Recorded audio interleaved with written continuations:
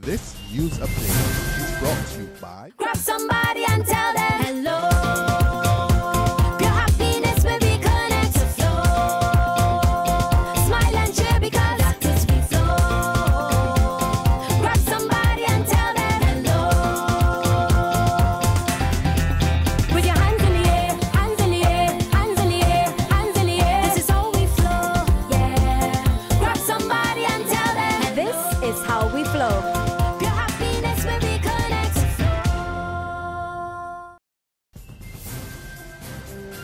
This is the Barbados Today evening news update for Thursday, September 24th. Thank you for joining us. I am Mary Claire Williams.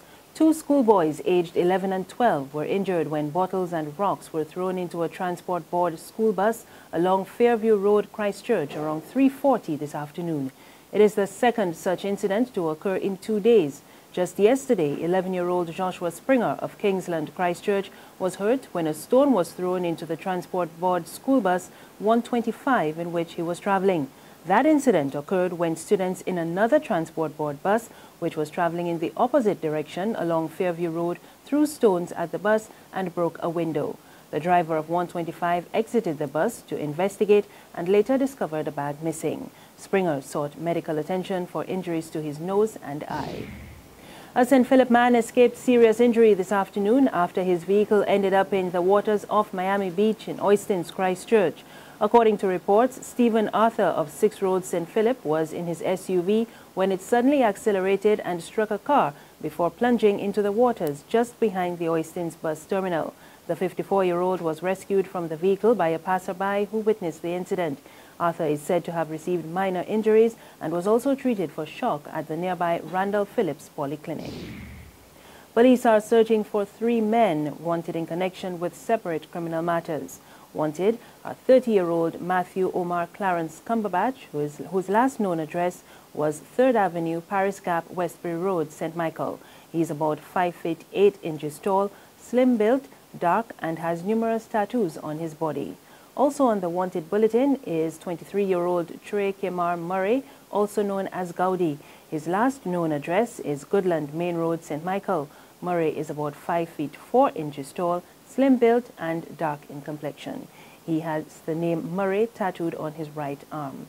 The third wanted man is 20-year-old Nico Ramon Johnson, also known as Nines. He last lived at Watts Village in St. George. He is 5 feet 8 inches tall, slim built, and dark complexion.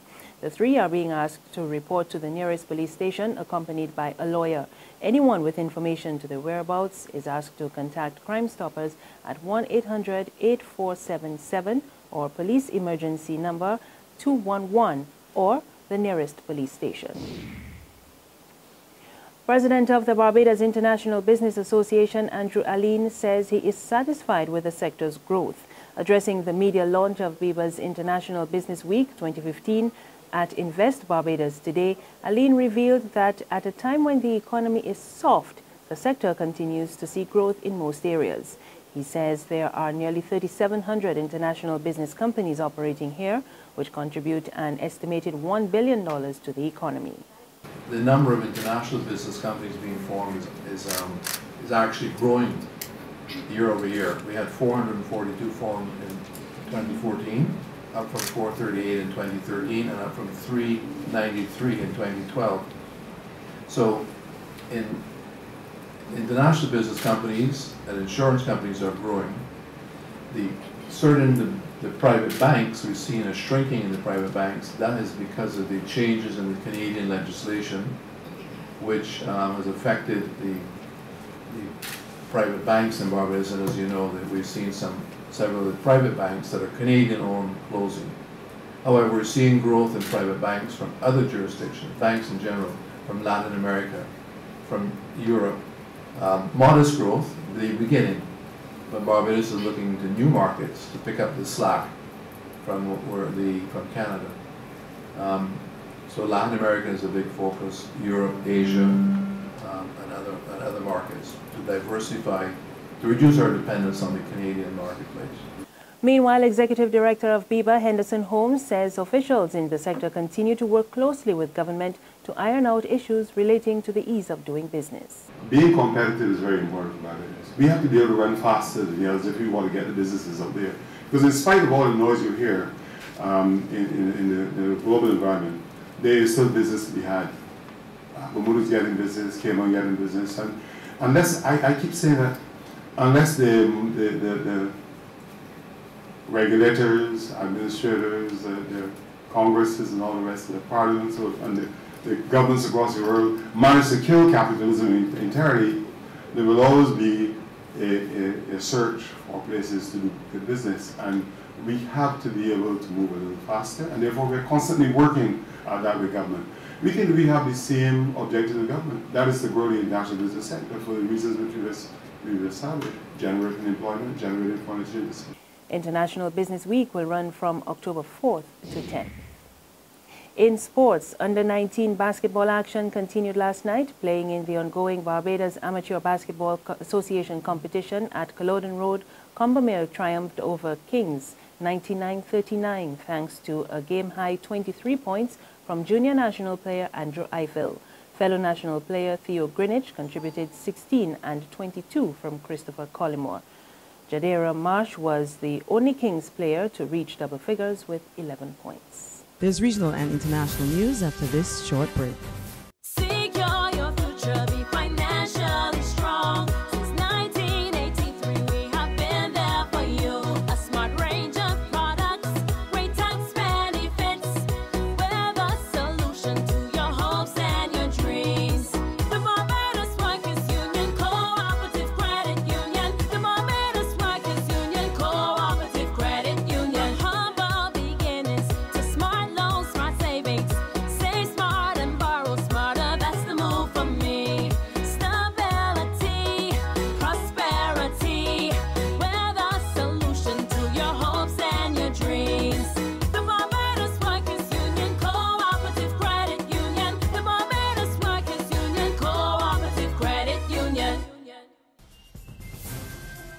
We continue with regional developments. St. Lucia's Prime Minister Dr. Kenny Anthony says he is aware of reports about a plot by certain members of the police force aimed at bringing down his government. The allegation was made public this week by Senate President Claudius Francis. Speaking for the first time on the matter, Anthony said the senator's statements are not inconsistent with information he has received. Dr. Anthony said issues which the senator raised involved a minority of police officers who are bent on embarrassing the government of St. Lucia for political ends. And he, has and he has planned to ask the acting commissioner of police to conduct a thorough investigation into the matter. On the international scene, Saudi Arabia's King Salman orders a safety review for the Hajj pilgrimage after some 717 people died in a stampede near the holy city of Mecca. Another 863 people were injured in the incident at Mina as 2 million pilgrims were taking part in the Hajj's last major rite. This is the deadliest to occur during the pilgrimage in 25 years. It also comes 13 days after a crane collapsed, killing more than 100 people at the Grand Mosque in Mecca. At 9 a.m. local time, a crowd surge led to a stampede at a road intersection used by people heading towards the largest of the Jamarat. Those are the three stone structures that pilgrims throw pebbles at to symbolize rejecting evil. This was about six hours ago now, and a massive recovery and rescue effort now underway in the city of Mina. 4,000 rescue personnel and some 220 ambulances have been deployed to the scene. Now, this is a huge settlement of more than 100,000 tents, temporary accommodation for visiting pilgrims. And just to set the context uh, for you, and a reminder of the enormous numbers of people involved, at least 2 million people were expected to attend Hajj this year. And finally, ISIS claims responsibility for a suicide bomb attack on a mosque in Yemen's capital. The attack left at least 25 people dead and 36 wounded. Two explosions struck the mosque as worshippers were performing prayers for a festival. And that's the news. For more, you can log on to www.barbadostoday.bb. You can also subscribe to our e-paper, email updates, and like us on Facebook. We're on Izumi Media in bus terminals or screenplay at supermarkets and gas stations near you. We are also on channel 101 on Flow TV and Mix 96.9 FM. I am Mary Claire Williams. Good evening.